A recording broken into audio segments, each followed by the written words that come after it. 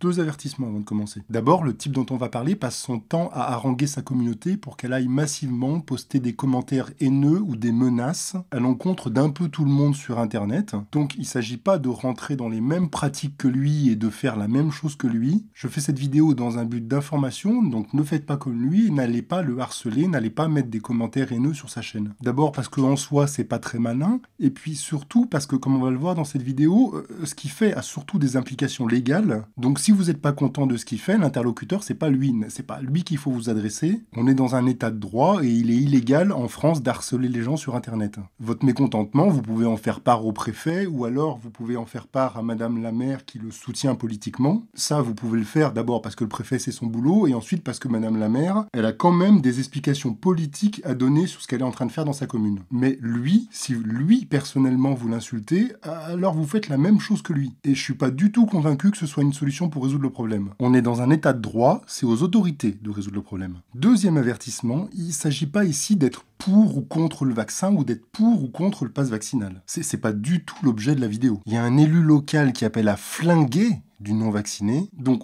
je vais partir du principe que, que vous soyez pour ou contre le vaccin, vous considérez qu'il y a une ligne rouge qui est franchie, indépendamment à la fois de votre position personnelle sur le vaccin et de votre position personnelle sur le pass vaccinal. J'ose espérer que même si vous êtes vous-même convaincu que le vaccin et le pass vaccinal sont des bonnes choses, bah, vous estimez malgré tout qu'il y a un consensus sur le sujet et que c'est pas pour autant qu'il faut flinguer les gens qui se vaccinent pas. Donc dans cette vidéo, je vais pas du tout prendre position pour contre le vaccin, parce que c'est pas la question. Néanmoins, comme je connais la méthodologie du bonhomme, et on va en parler, je vais parler de sa méthodologie, ça va être une partie entière de la vidéo qui va être consacrée à la méthode qu'il utilise. Je sais qu'il va m'accuser euh, d'être un anti-vax et de pas être vacciné moi-même. Donc je, réponds pour couper l'herbe sous le pied, que les choses soient claires. Premièrement, je suis pas du tout opposé au vaccin, et deuxièmement, je suis vacciné. Alors, cette enquête va se composer de trois parties. Premièrement, on va voir qui est ce personnage. Deuxièmement, on va parler des appels au meurtre qu'il a lancés pour tuer du non-vacciné. Et dans un troisième temps, on va faire quelque chose de très intéressant et, je,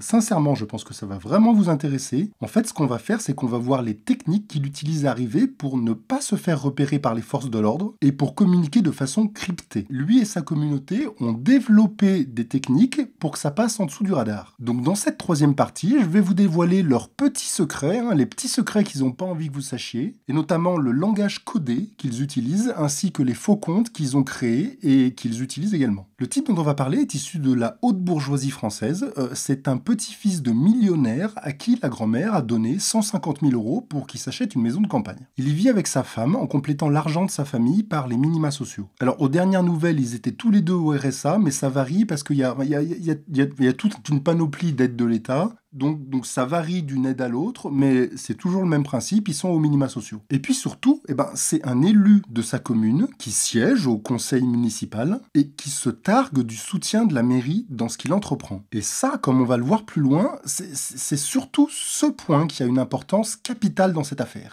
Euh, je suis très fier de, de, de, savoir en fait que euh, ben, Madame le maire euh, et les conseillers municipaux regardent les vidéos. Alors son mode d'action est simple, il désigne des cibles à sa communauté en rendant public leurs noms, leurs adresses et en attaquant leurs enfants, leurs femmes ou leurs parents. Bah, euh, je vous avouerai que ouais, j'ai pris cher et je je m'en suis toujours pas vraiment remise de cette histoire-là. Donc j'imagine tous les gens à qui ce type-là euh, euh, s'en prend. Euh, comment ils sont après, quoi. Vous, savez, le savez très bien que ça fait vachement de mal. Moi, dans la, sous la vidéo de la personne en particulier, pour ceux qui savent pas, avait été mis euh, par une folle qu'on avait accueillie ici, mes noms de jeunes, de jeunes filles, de femmes mariées, mon adresse et mon numéro de téléphone. La méthodologie est à peu près tout le temps la même. Il cherche à identifier les membres de la famille qui sont le plus importants pour la personne qui l'attaque. Par exemple, il a ciblé un gars après que son père soit décédé du cancer, parce que son père était mort du cancer à ce moment-là et qu'il avait identifié une vulnérabilité. Ou alors il a fait la même avec des enfants qui ont failli brûler vivants dans un incendie, parce qu'il a senti qu'il y avait une angoisse pour les parents, pour la famille, donc il s'est focalisé sur le danger de cet incendie pour exploiter leur vulnérabilité. Alors on pourrait prendre des exemples à l'appel, hein. il y en a littéralement des dizaines, mais pour être très concret et que vous compreniez la méthode sans trop se disperser, on va se concentrer sur trois exemples précis. Encore une fois, ne vous limitez pas à ces trois exemples parce que vraiment il y en a à l'appel. C'est juste que le but c'est pas de faire une vidéo de 5 heures, donc je vais prendre des exemples dans des domaines variés. Comme ça, ça vous permettra de voir concrètement comment il fait. Le premier exemple que je vais prendre, c'est celui du mec que vous êtes en train de voir à l'image, là, qui est un YouTuber qui s'appelle Alexis et qui a une chaîne qui s'appelle L'Actu Animé. Et donc, il a fait des recherches, hein, une enquête sur lui, sur sa famille, sur sa vie privée, tout ça. Et il a découvert que Alexis était amoureux d'une jeune fille et qu'il était en couple avec elle. Et donc, il a identifié une vulnérabilité, c'est un sentiment amoureux. Et ce qu'il a fait, c'est qu'il a fait une vidéo entière consacrée à la copine de l'actu animé. C'est littéralement le sujet de la vidéo. Le, sujet de la vidéo, c'est de révéler l'identité de sa copine et d'appeler sa communauté, par les moyens qu'on va voir un peu plus loin dans la partie consacrée à la méthodologie, à se déchaîner sur cette nana. En fait, ce qu'il a fait, c'est qu'il a littéralement attaqué la copine du mec à qui il voulait nuire. Et entendons-nous bien, hein, il n'y est, pas du tout allé avec euh, le dos de la cuillère, il y est allé à plein pot au bulldozer, en donnant en description de sa vidéo des liens qui permettaient de remonter à l'identité de cette nana, à son nom, à son vrai nom, à son adresse, pour savoir exactement qui elle est et où elle vit. Et la nana, elle s'est faite littéralement lyncher. Elle a reçu des torrents d'insultes, elle a reçu des menaces de viol. On a balancé des infos sur ma vie privée, mon entourage, ma famille. Ce petit Alexis n'est pas tout seul. Non, non, non, mes amis, il est en couple. Ah qu'est-ce qu'on s'en fout, c'est sa vie privée. Mais oui, mais attendez, attendez. Alors, il est en couple avec une certaine, une certaine, pardon. À quel moment tu te permets de dévoiler l'identité de ma copine? Hein, Qui, elle aussi, euh, très, euh, très au fait, en fait, et très concernée hein, par l'écologie, euh, l'environnement, l'autonomie. À quel moment tu trouves ça normal de balancer ce genre d'infos? Dites-moi, qu'est-ce que ça peut bien vous foutre que je sois avec telle ou telle fille? Des numéros de téléphone et des adresses qui circulent, on s'en est pris. À ma mère, on m'a menacé de mort, on a menacé ma copine de viol. Non, non, non, mes amis, il est en couple. Ah qu'est-ce qu'on s'en fout, c'est sa vie privée. Mais oui, mais attendez, attendez. Alors ce truc d'attaquer le, conjoint, la conjointe, la petite copine ou la femme, c'est vraiment une technique récurrente chez lui. Il y a un truc qui va systématiquement, méthodologiquement essayer de faire, c'est d'utiliser la haine qui déverse via les réseaux sociaux sur chacun des membres du couple pour essayer de créer des tensions dans le couple en essayant de faire en sorte que le, couple se sépare. Combien de couples dont un des deux membres était youtubeur se sont séparés parce que, affichés aux yeux de tous, harcelés, et puis insultés, stalkés, diffamés. Alors un couple qui se sépare, et il peut y avoir 200 000 raisons euh, pour lesquelles euh, le, couple se sépare, mais les couples de youtubeurs, c'est assez fréquent qu'il y ait des couples de, que des, y ait des youtubeurs qui se mettent en couple, et, et en fait, c'est assez fréquent également, c'est pas toujours pour ça, mais c'est assez fréquent également que la raison pour laquelle ils se séparent, c'est aussi à cause de YouTube. Et ça, il l'a parfaitement compris en fait. Ce qui m'amène au deuxième exemple que j'ai trouvé intéressant de vous montrer, d'un couple de YouTubeurs qui s'est séparé. Alors, les raisons pour lesquelles ils se sont séparés, ben, euh,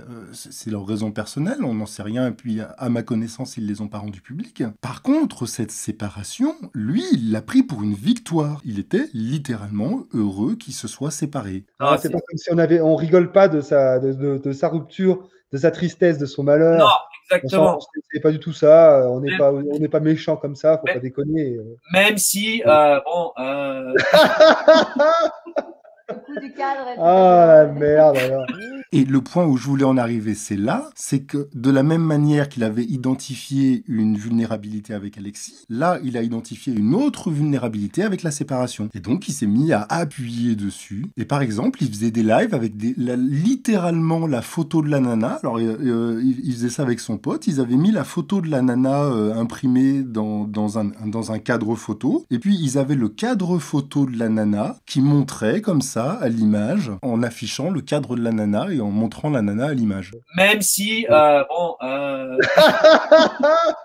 Donc on y a beaucoup réfléchi et il y a quelques semaines on a pris la décision qu'on allait se séparer et euh, du coup moi je vais partir de mon côté et je vais aussi arrêter la chaîne YouTube donc ça sera euh, l'une des dernières vidéos dans laquelle vous allez me voir. Vous avez été super nombreux à nous soutenir tous les deux et à pas choisir un camp et ça fait vraiment chaud au cœur. Euh.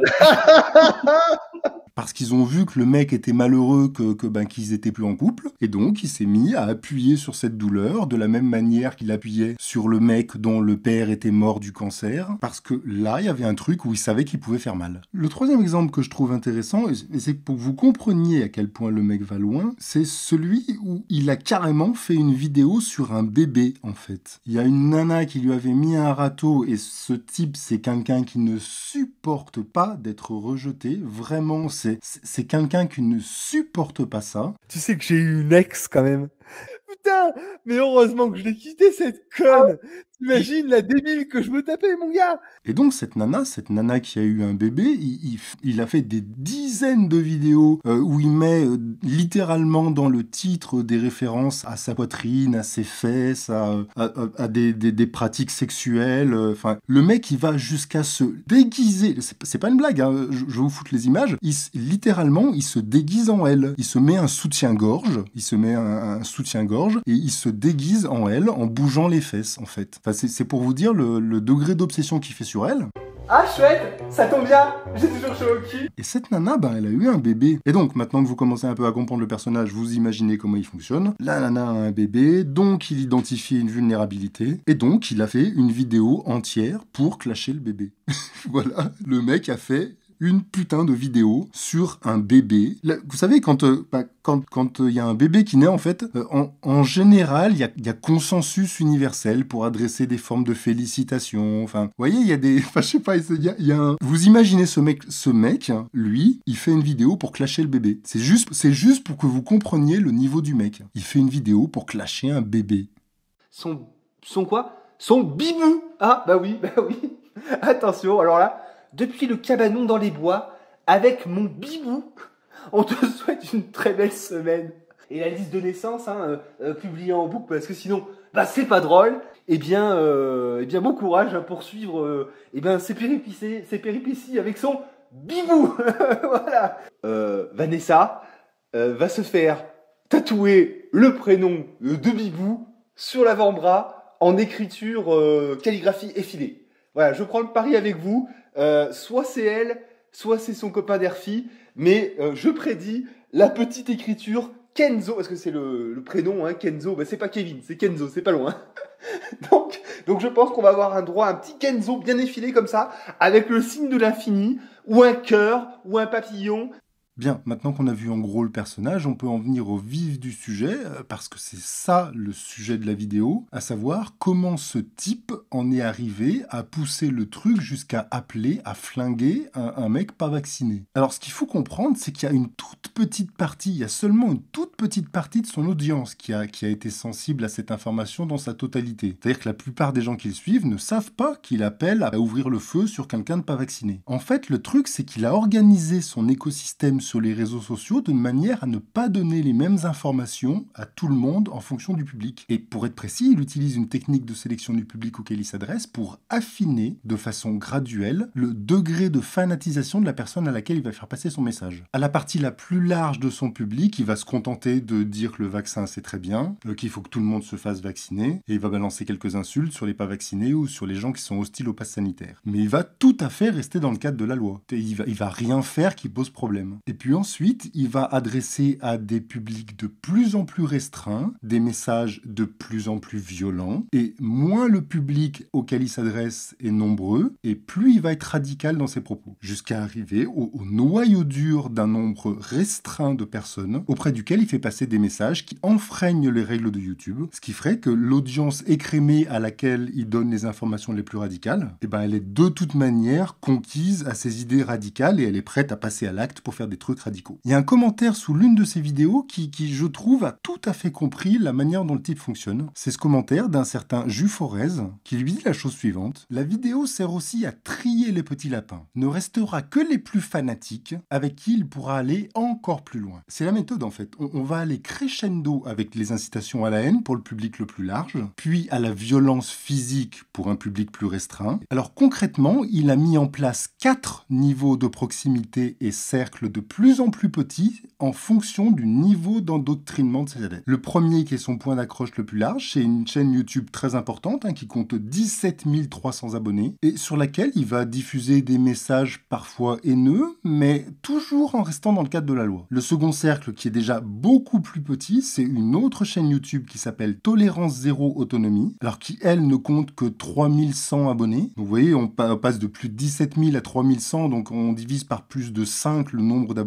Sur cette chaîne, il va y avoir un public beaucoup plus restreint. Et sur cette chaîne, il va commencer à faire des choses qui relèvent davantage de la haine, euh, voire des appels à la violence. Pour ce public plus restreint, il monte crescendo. Mais là, il y a plus que 3100 abonnés, donc c'est, on va dire que c'est une petite chaîne relativement insignifiante comparée à l'autre qui en a de plus de 17 000. Puis vient ensuite le troisième cercle qui est encore plus petit que le précédent. C'est un onglet dédié à sa chaîne qu'il a créé sur un réseau autonomiste qui s'appelle Réseau Autonome. Alors Réseau Autonome a une certaine taille en soi, c'est un réseau qui a à peu près 6000 abonnés, mais lui dans son onglet, il a une petite communauté qui doit tourner aux alentours de 300-400 personnes. L'ensemble des personnes de Réseau Autonome ne partagent pas ces délires, il y a aussi des gens normaux sur Réseau Autonome. Mais à côté de ces gens normaux, il y a cette petite communauté au sein de l'onglet communautaire Projet Liberté, où il y a un petit groupe auquel il adresse des messages encore plus violents. Et enfin, pour terminer, il y a un quatrième cercle encore plus petit que les autres, c'est celui avec lequel il va avoir des échanges privés, soit sur le réseau Discord, où ça va être des échanges sous forme orale, euh, sous lequel c'est absolument impossible d'avoir la moindre trace, soit via YouTube par des vidéos non répertoriées qu'il s'échange en privé. Donc, en plus des différentes chaînes dont on a parlé, il y a également présent sur YouTube des vidéos non répertoriées, donc que vous, vous pouvez pas voir. Et ce sont les vidéos les plus brutales. Et ces vidéos, elles sont échangées au sein d'un groupe qui compte à peine une centaine de personnes, donc elles sont extrêmement peu partagées. On a donc le premier cercle, la chaîne Projet Liberté, qui est aux alentours de 17 000 abonnés. Puis le deuxième cercle, la chaîne Tolérance Zéro, qui est aux alentours de 3 000 abonnés. Puis l'onglet de sa communauté dans le réseau Discord, qui est aux alentours de 400-500 abonnés. Et enfin, les militants les plus hardcore, euh, qui sont à tout casser une centaine. Et donc, pour que vous compreniez concrètement comment ça se traduit, tout ça, eh ben, je vais prendre l'exemple du pass sanitaire et vous montrer comment, à ces différents publics, il fait passer un message graduellement violent, en sachant que l'étape finale, la partie la plus hardcore, eh ben, en fait, il y aura à peine une centaine de personnes qui y aura eu accès. Et ces gens-là sont de toute manière tellement fanatisés qu'ils vont de toute manière jamais diffuser l'information. Alors, pour vous perceviez bien les quatre niveaux d'endoctrinement, on va commencer par la chaîne principale, la chaîne Projet Liberté, où vous allez voir que bah, tout ce qu'il fait, c'est expliquer que le vaccin c'est bien, qu'il faut se faire vacciner et que voilà, c'est génial le vaccin. J'ai mis en, ligne euh, mon certificat de vaccination. Agnès et, moi, on a donc fait le choix de se vacciner, et euh, pas pour une histoire de pouvoir aller au restaurant, de pouvoir aller euh, en vacances, etc. Absolument pas.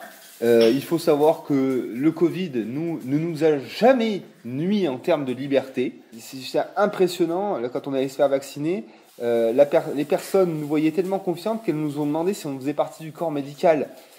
Euh, le milieu de l'autonomie est un milieu extrêmement perméable aux dérives sectaires. Brian en fait la preuve de nouveau.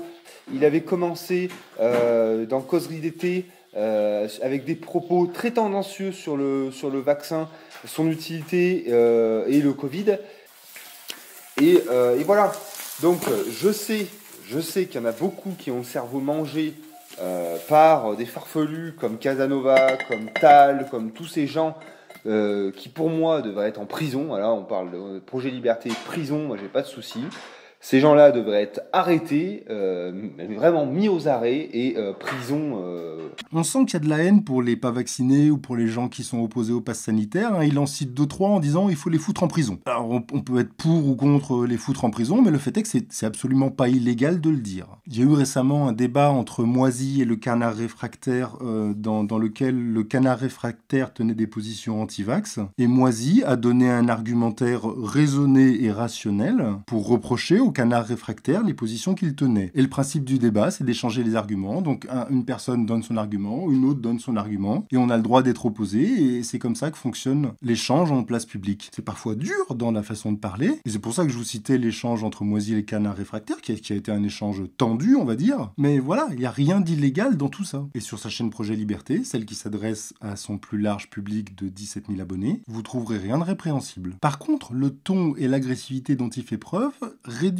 son audience. C'est-à-dire qu'il y a des gens qui se disent ouais, je, suis- d'accord avec lui, euh, mais quand même il pousse un peu loin là. Et donc en faisant ça, c'est ce dont parlait le commentaire que je vous ai montré tout à l'heure. En fait, il fait un premier écrémage. C'est-à-dire que les gens qui vont aller voir la suite de ce qu'il raconte sur les anti-vax et sur les anti-passes sanitaires, qui vont aller voir cette suite sur sa chaîne à audience plus réduite de seulement 3000 abonnés, et ben ces gens seront déjà un peu plus fanatisés que les autres. Et à cela, il va pouvoir commencer à tenir des propos qu'il n'aurait pas tenus devant les autres. Je suis pas- quand, je vois, justement, il y en a une qui me disait euh, Alexis est au vaccin, ce qui est euh, euh, Brian à l'autonomie.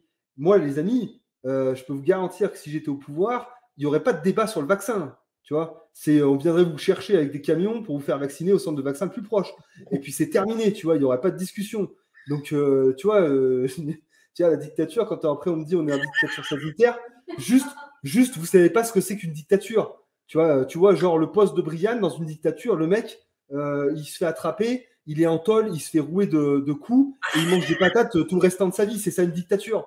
Beaucoup, je sais que beaucoup de gens dans le chat et de mes abonnés euh, et dans notre milieu connaissent Jean Covici. Jean Covici, vous savez qu'il a des paroles très dures sur la démocratie. Je ne sais pas si vous avez entendu ce qu'il explique de la démocratie. Et, euh, et ce qu'il explique, c'est que ce n'est pas le régime euh, adapté pour répondre aux problématiques. Non, non, mais attends, c'est pas moi. Moi, je le pense, mais je le dis pas. Moi, les amis, euh, je peux vous garantir que si j'étais au pouvoir, il n'y aurait pas de débat sur le vaccin. Tu vois, on viendrait vous chercher avec des camions pour vous faire vacciner au centre de vaccin le plus proche. Et puis c'est terminé, tu vois, il n'y aurait pas de discussion. Donc, euh, tu vois, euh, tu vois, la dictature, quand après on me dit on est en dictature sanitaire, juste, juste, vous savez pas ce que c'est qu'une dictature. Mais même avec eux, de la même manière, il va y aller crescendo. Il va pas tout de suite dire faut les tuer. Il va commencer par dire ouais, faut leur casser la gueule. Et puis seulement après leur avoir fait passer le truc comme ça qu'il fallait leur taper dessus et leur casser la gueule, faut que vous compreniez que là il fait encore un autre écrémage. C'est-à-dire euh, des gens, euh, les, gens qui continuent de regarder ça, bah, c'est des gens qui sont encore plus fanatisés. Parce que même si on est, euh, même si on pense que les antivax c'est des connards, c'est des merdes, c'est toutes les saloperies du monde, c'est quand même autre chose d'aller raconter qu'il faut leur taper dessus. Enfin, moi, ce qui me pose aussi beaucoup de problèmes euh, très récemment, c'est qu'il tourne complètement conspi et anti-vax. Ah et ouais ça, moi, moi, alors, mais ça, moi, ça m'énerve. Oh, j'ai envie de le, j'ai envie de le tabasser. J'ai vraiment envie de le tabasser. Donc là, il y a des gens qui arrêtent de regarder, qui laissent tomber, et il a encore écrémé un peu plus. Et comme il a encore écrémé un peu plus, c'est là où il peut aller au fond de sa pensée et à l'endroit où il voulait aller depuis le début pour faire quelque chose qu'il pouvait pas faire devant une audience plus large. Il excite les gens dans la, dans la, dans la folie, quoi. Mais c'est Et- ça. Et, et puis leur- et- et- et là, là, pour ça, pour ça, il y a un moment, il va, enfin, soit il va se calmer, parce que là, il est discret. Mais s'il est de plus en plus apparent dans ce qu'il fait là, il y a un moment, il va, il va, il va falloir le flinguer. euh. Il y a un moment, il va, il va, il va falloir le flinguer. euh, Non, mais vraiment.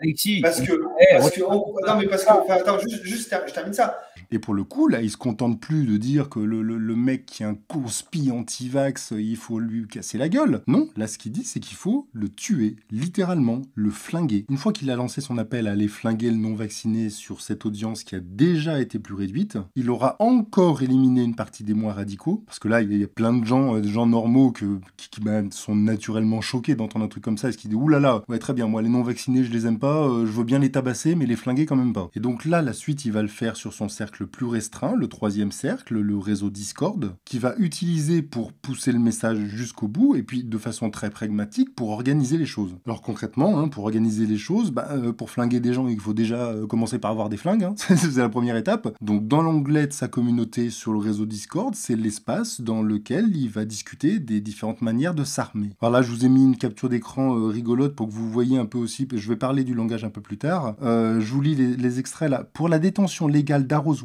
il y a aussi la licence d'arrosoir trap. Alors oui, je, vous en parlerai plus tard, mais en fait, ils, changent des mots. Ils, changent des mots pour... euh, ils ont un langage codé pour euh, crypter une partie de leur conversation. Mais bon, moi, là, en l'occurrence, le code est un peu stupide, puisque vous avez compris que quand ils parlent d'arrosoir, ils parlent d'armes à feu. Et donc, ce qui veut dire, c'est que pour la détention légale d'armes à feu, il y a aussi la licence de Baltrap. Alors, c'est des messages qui restent pas en ligne, tout ça. hein. C'est des messages qui s'échangent comme ça, sous le feu de l'actualité, lorsqu'il y a différents appels qui sont lancés dans les cercles un peu plus larges qu'on a vus précédemment. Puis, ils s'échangent ben, les bons plans pour avoir des armes, puis ensuite, ils font disparaître leurs commentaires. Et puis, par ailleurs, comme c'est un public encore plus restreint, il, peut annoncer ce qu'il a l'intention de faire de façon encore plus explicite, euh, comme là, où, il dit très explicitement, euh, pour moi, ce sont des cibles à abattre et je vais m'en charger. Il n'y a, a aucune ambiguïté, voilà, pour lui, c'est des cibles à abattre et il va s'en charger. Il a tellement écrémé que les gens qui en arrivent à lire ce commentaire, ils sont de toute manière suffisamment fanatisés pour pas que ça les choque. Ce que vous êtes en train de voir euh, à l'image, là, le râtelier que vous êtes en train de voir, dans ce râtelier, il y a une arme longue de catégorie C. Et si vous faites attention au sol, vous voyez dans une housse qu'il y a une autre arme longue. Alors c'est assez étonnant qu'il l'ait planquée et qu'il l'ait mise là pour le temps de sa vidéo.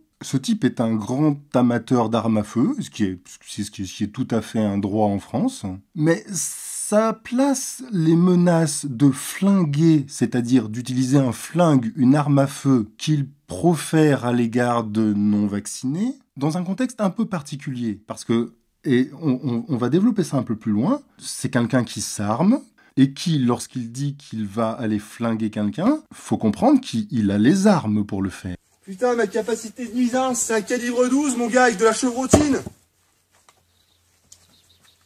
Putain, c'est affreux de voir des PD comme ça. Hein.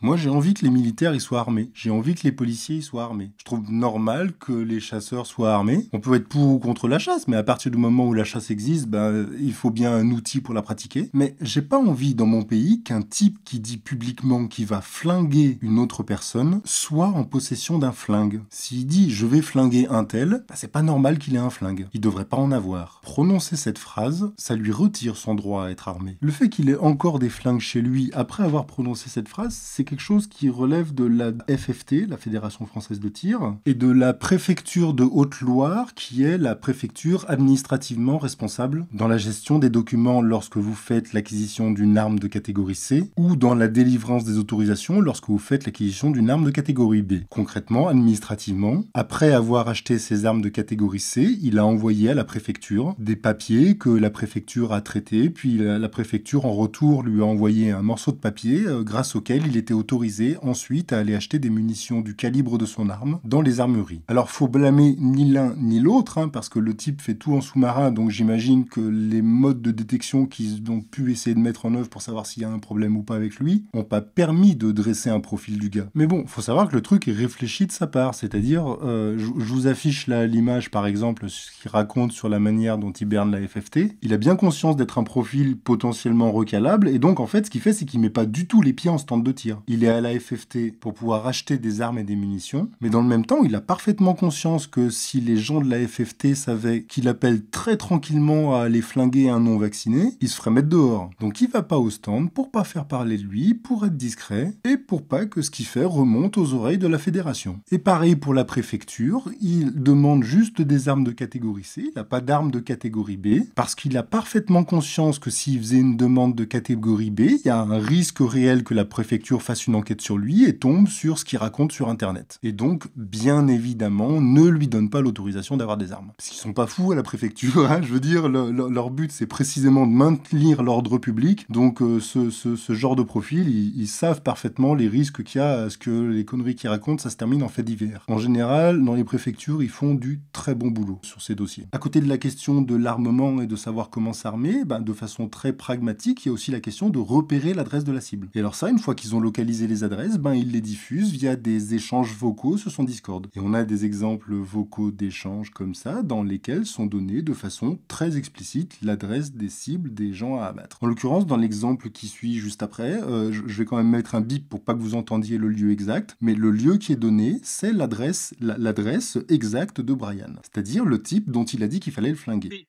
Écoute, il a un Discord, je suis connecté sur un autre pseudo, euh, j'y suis.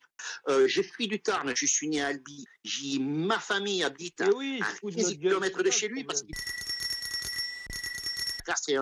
Voilà, là, toutes les personnes dont les adresses sont sorties, il y a un paquet de, personnes dont ben, vous avez vu votre adresse sortir euh, sur les réseaux sociaux diffusée par l'équipe de ce mec. Eh ben, si vous voulez savoir concrètement quelle méthode il a utilisée, c'est- littéralement ce que vous êtes en train de voir. Alors vous avez vu déjà comme on a fait du crescendo en commençant simplement par dire ouais le vaccin c'est super bien, faites-vous tous vacciner. Puis en montant un petit peu en disant ouais non non mais les non vaccinés faut quand même leur péter la gueule. Puis en montant encore un peu en disant ouais euh, alors celui-là là il, dit qu'il faut pas se vacciner bah on, va le flinguer. Et en montant encore un peu en expliquant comment s'armer, en localisant l'adresse du mec qui veut le flinguer. Et donc à ce stade-là bah, vous vous doutez bien que l'écrémage a été extrêmement poussé et il reste plus que la petite centaine de personnes avec laquelle il échange euh, via les échanges privés sur Discord ou via l'échange de vidéos en lien non répertoriés sur YouTube. Et alors là c'est pareil, c'est-à-dire que même à ce stade-là d'écrémage, il y en a quand même qui disent putain il va quand même trop loin et, donc euh, on m'a envoyé une vidéo donc qui a- elle a été vue même pas par une centaine de personnes, hein. elle a été vue par un nombre extrêmement restreint de gens. Elle a été diffusée uniquement en non répertorié sur YouTube et c'est un mode de communication qu'apparemment il utilise beaucoup, mais, mais on, on peut pas par définition en avoir la trace puisque les vidéos sont diffusées comme ça de façon cachée, il n'y a aucun lien qui circule. Il les donne uniquement en privé et de toute manière les vidéos disparaissent très vite donc donc il y a, y y a littéralement aucune trace de ça, sauf la vidéo donc euh, dont je vais vous montrer l'extrait là. Alors euh, que les choses soient très claires, le, contenu de cette vidéo est, totalement interdit par les règles de YouTube, donc je ne peux pas vous diffuser la, vidéo en entier sans... euh, c'est pas possible. Et puis en outre, à côté de ça, je trouve que c'est super malsain, enfin ce que, ce que vous allez voir, c'est vraiment un, délire super malsain, donc je trouve pas sain de montrer ça en fait et de, diffuser ce genre d'image. Donc pour toutes ces raisons, je vais pas vous montrer toutes les images, je vais vous montrer qu'une petite partie, et je vais cacher une partie de l'image pour, pour pas que vous puissiez voir euh, des, des- des scènes qui sont, qui sont violentes et qui, dont la diffusion est interdite sur YouTube. Alors pour vous décrire euh, le- l'ensemble du truc, en fait, euh, ce qui se passe, c'est que après avoir fait tout ce qu'on a vu, tout, tout ce qu'il a raconté sur les non-vaccinés, après avoir ciblé une personne qui avait dit publiquement qu'elle était non-vaccinée, enfin, après avoir fait tout ça, après avoir expliqué comment s'armer, après avoir localisé son adresse et rendu public son adresse, après, être- après avoir fait tout ça, en fait, il a littéralement euh, filmé la mise à mort symbolique de Brian, de sa cible, en prenant une poule, en disant bah voilà, toi la poule, t'es Brian, et en lui tapant sur le crâne jusqu'à ce qu'elle meure. Et donc on, le voit, bah, il, tape sur la poule, il attrape la poule, elle, essaye de se débattre et il lui tape dessus. euh, je, je- vais vous laisser une partie de la bande son. Il lui tape dessus en disant à mort, à mort, à mort la pseudoscience. Et puis paf, paf, il lui tape dessus euh, ju- jusqu'à ce que l'animal y meure. Et puis quand il a fini, quand l'animal est mort, donc euh, il ressort de l'enclos, il brandit le cadavre devant la caméra et il dit ah voilà ce qui se passe Brian, voilà ce qui se passe Brian. Alors, Brian, on a manqué de rigueur journalistique? Qu'est-ce qui se passe? Qu'est-ce qui se passe, Brian? On commence à faire n'importe quoi là? Tout de suite, Brian. Allez, allez, là. Putain, il sait pas faire ce pédé là.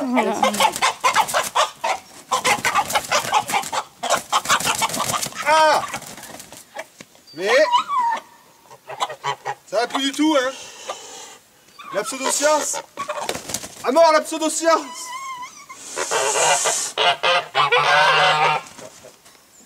Voilà ce qui se passe, Brian. Quand on manque de rigueur euh, journalistique. Je, je crois que je l'ai eu d'abord. Oui, Alexis. Il saigne. Donc, Voilà. Alors là, il faut bien que vous réalisiez que ce qu'on vient de voir, c'est uniquement la partie, la, la- vraiment la partie minuscule de son audience. hein. Il y a 17 000 abonnés sur sa chaîne. Parmi les 17 000 abonnés, il y en a que 100 qui sont allés à ce niveau d'écrémage pour voir ce que vous venez de voir. En fait, ce qu'il fait, c'est qu'il vise à réduire progressivement l'audience à laquelle il diffuse un message pour aller à la fin diffuser un message que euh, moi je suis obligé de censurer la vidéo, mais lui n'aurait pas pu rendre cette vidéo publique sur YouTube. Il a pu la faire circuler uniquement parce qu'elle était en non répertorié. S'il l'avait mise en public, la, chaîne se serait pris un strike dans les 5 minutes. Parce que c'est un contenu dont la diffusion est totalement, mais alors totalement interdit sur YouTube. Et à ce sujet, il faut quand même souligner la responsabilité de YouTube dans cette affaire. Alors, il essaye d'être discret, mais il y a aussi, en parallèle de cette discrétion, un sentiment d'impunité qu'il affiche publiquement et qui est assez saisissant parce qu'on on voit qu'il en a vraiment absolument rien à foutre d'aucune loi. Je vous mets une petite citation là qui est extrait d'un post qu'il a laissé le 29-07-2021 sur son réseau Discord. Alors, je le cite, hein, euh, entre guillemets, j'expliquais qu'à un moment donné, la loi, je l'emmerde. Bref, ça lui a pas plu et il s'est mis à être incisif au cours des lives jusqu'à ce qu'il me saoule vraiment et que je l'humilie. À un moment donné, la loi, je l'emmerde. C'est vraiment sa philosophie de vie. Et en fait, il l'emmerde d'autant plus qu'il est jamais inquiété par la loi. Et il est jamais inquiété par la loi parce qu'il procède de façon méthodologique pour ne pas être inquiété par la loi. Ce qui nous amène à la troisième partie de la vidéo, dans laquelle on va voir ses petits secrets et les méthodes qu'il utilise pour passer entre les mailles du filet, en brouillant les pistes, pour rendre compliqué de décoder ce qu'il est en train de demander à sa communauté de faire, ainsi que quelles personnes et par quels moyens il va les attaquer. Parce qu'on va voir ce sont des techniques vraiment pensées et, et mises en œuvre littéralement de façon consciente et volontaire. hein. Il le fait et il explique qu'il le fait. Encore une fois, il l'explique pas à tout le monde, il explique juste à une toute petite partie de son audience. Et comme vous allez le voir, c'est quand même des techniques vachement tordues. La première de ces techniques, et on l'a déjà évoqué précédemment avec l'exemple des armes à feu, c'est l'utilisation d'un langage codé. Alors, comme il le définit lui-même, le premier objectif de l'utilisation de, de ce langage codé, c'est de contourner les investigations qui pourraient être menées contre lui par la puissance publique, par, par- très clairement par les services du ministère de la Justice. Et ça aussi, il le dit de façon plutôt explicite.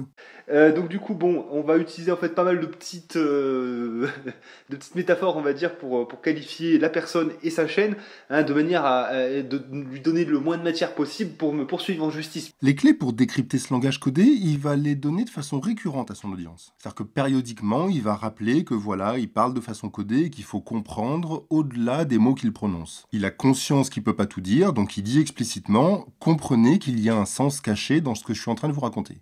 Les éléments pour décoder ces codes, il les donne soit dans des vidéos, alors bah, bah, je vous ai montré un extrait tout à l'heure, je, vous en montrerai un autre un peu plus tard, soit il les donne sous forme de commentaires en dessous de certaines vidéos pour, pour faire passer le mot à certains de ses adeptes et puis ensuite pour qu'ils qu'ils se le passent entre eux. Et encore une fois, tout ça est très bien fait, il y a des vidéos qu'il met en ligne, il laisse des commentaires, puis ensuite il supprime euh, les commentaires ou alors il supprime carrément la vidéo. Et donc pour quelqu'un qui ne passe pas la totalité de son temps euh, sur, sur, sur les vidéos de ce mec, et encore une fois, il, il sort euh, plus d'une vidéo par jour en ce moment, il, est, il est à une vidéo et demie par jour. Il, fait que ça en fait, donc donc c'est très très difficile, euh, enfin il faut, il faut il faut, il faut y passer son temps dessus, quoi. Et comme elles disparaissent au fur et à mesure, et ça pareil, il explique que ces vidéos, il les enlève au fur et à mesure, et ben ça laisse pas de traces. Ces langages codés, il va les utiliser, bah, bah, bah, comme on a vu, pour désigner des objets ou des actions euh, qu'il peut pas nommer explicitement, mais il va également le faire pour désigner les personnes qu'il a décidé de cibler et d'attaquer. Si on reprend l'exemple d'Alicia, qui est l'une des nanas sur lesquelles il a dû le plus s'acharner et qu'il a attaqué dans au moins une trentaine de vidéos, bah en fait, dans la mesure où il a parfaitement conscience de la notion juridique de harcèlement, c'est-à-dire l'action répétée comme ça d'actes malveillants qui visent à faire du, mal à la personne,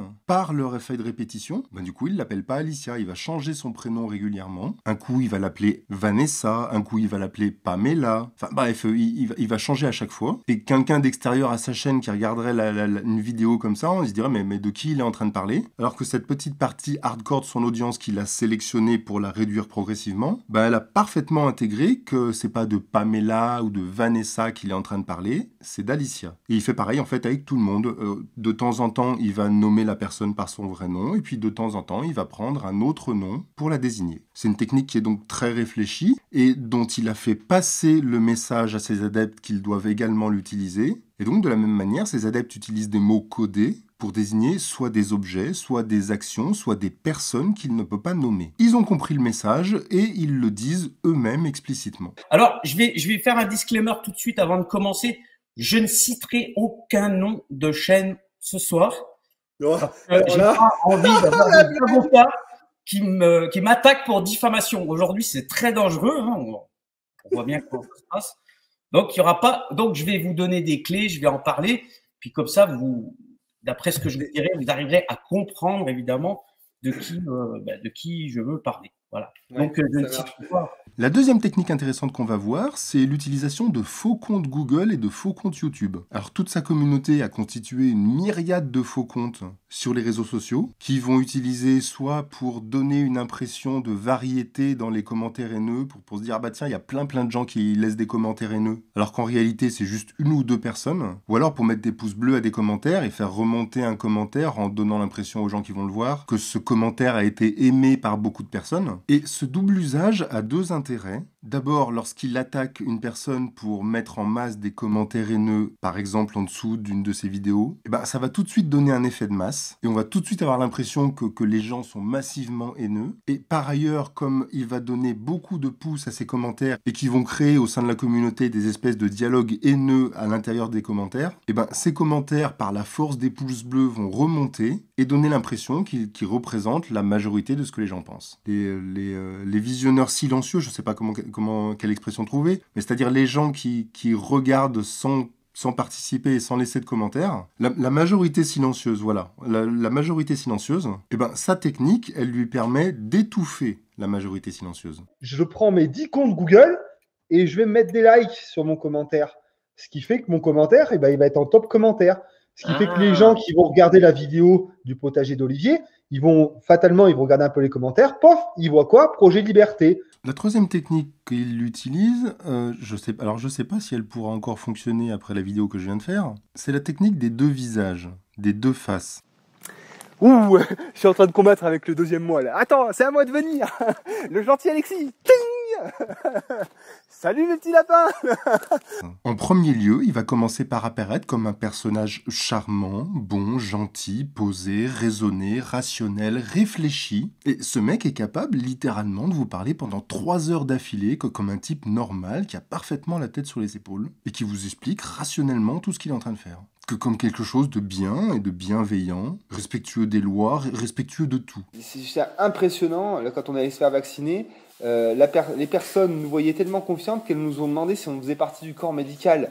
Donc ça, c'est la première phase de Janus. Et puis sur l'autre phase, ben, vous, vous avez ce que ben, ce, ce qu'on a vu dans la totalité de cette vidéo, à savoir un personnage beaucoup moins charmant, mais qui, encore une fois, ne va être visible que d'une toute petite partie de son audience. tourne complètement conspi et anti-vax. Il y a un moment, il va, il va, il va falloir le flinguer. On va terminer par le dernier point qui est, qui est, à mon sens, le plus problématique dans toute cette affaire. C'est la dimension politique qu'il donne à son action. Toute la haine que vous avez vue se déchaîner contre les pas vaccinés, les propos ahurissants, les mises en scène avec les armes à feu, les mises à mort d'animaux, voire les mises en scène de mises à mort physiques réelles, eh bien tout ça, il le fait en proclamant fièrement qu'il est un élu de la République. Et régulièrement, dans ses vidéos, il revient sur ce point en expliquant son engagement politique au sein de son conseil municipal, et surtout en revendiquant le soutien de l'équipe municipale dans son ensemble, et de Madame la maire en particulier.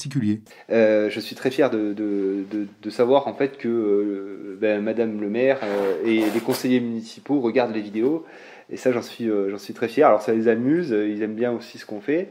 Et, donc, ouais, c'est, vecteur de, complicité. Voilà, c'est vraiment, moi j'aime bien ça. Il y a un moment, il va, il va, il va falloir le flinguer. Alors comme vous l'avez vu au début de la vidéo, c'est quelqu'un qui va attaquer les gens dans leur vie privée et qui va diffuser publiquement leurs informations personnelles, leurs noms, leurs adresses, etc. Et il a lui-même rendu public toutes les informations personnelles le concernant, il a donné son nom, son adresse, il a fait des vidéos dans lesquelles il montre littéralement sur Google Maps son adresse exacte avec sa maison, avec la localisation exacte de sa maison. Ce qui se passe, c'est que, euh, comme je vous expliquais, c'est un lieu dit. Ici, c'est un lieu dit. D'ailleurs, de toute façon, avec le cadastre, je vais, enfin, vous saurez tous où j'habite. De toute façon, on va faire des visites cet été, donc vous saurez tous où j'habite. Comme il le dit lui-même et comme il le revendique si fièrement, c'est un élu du conseil municipal de la commune de Saint-Jean-d'Aubignou, en Haute-Loire. Et il se targue du soutien de Madame la maire de Saint-Jean-d'Aubignou, Pierrette Boutéron, qui, selon lui, regarde ses vidéos. Euh, je suis très fier de, de, de, de savoir en fait que euh, ben, Madame le maire euh, et les conseillers municipaux municipaux les vidéos. Alors je vous laisse imaginer l'ambiance pour les pas vaccinés sur cette commune, en imaginant les propos qui doivent être tenus au conseil municipal par des individus qui soutiennent ce genre de discours. Il fait ce qu'il veut, c'est quelqu'un qui fait ce qu'il veut. hein. Je vous ai mis tout à l'heure le commentaire où il donnait sa pensée profonde sur ce qu'il pensait de la loi. Il le fait pas tout seul dans son coin. Ça a un sens pour lui de dire qu'il est soutenu par Madame Boutéron. Et ça veut dire quoi si en France on en est arrivé politiquement à ce qu'il puisse y avoir des communes dans lesquelles pour les élus municipaux de la commune, dire des trucs comme ça sur les pas vaccinés, eh ben c'est acceptable. Il y a un moment, il va, il va, il va falloir le flinguer. euh. Voilà ce qui se passe, Brian. Alors le mec, il va pas s'arrêter. hein. Là, il est beaucoup plus trash qu'il était il y a un mois. Il y a un mois, il était déjà beaucoup plus trash qu'il était il y a six mois. Il y a six mois, il était encore beaucoup plus trash qu'il était il y a un an. Donc ce qu'on observe sur la durée, c'est que graduellement, il est en train de dire et de faire des trucs de plus en plus radicaux. On en est qu'au début avec ce mec. Et la radicalisation progressive des propos qu'il tient sur les pas vaccinés, sur la pseudo-science ou sur ce qu'il appelle les conspirationnistes. Il est de plus en plus radical, il a une audience de plus en plus radicalisée et il a fermement l'intention d'aller encore plus loin.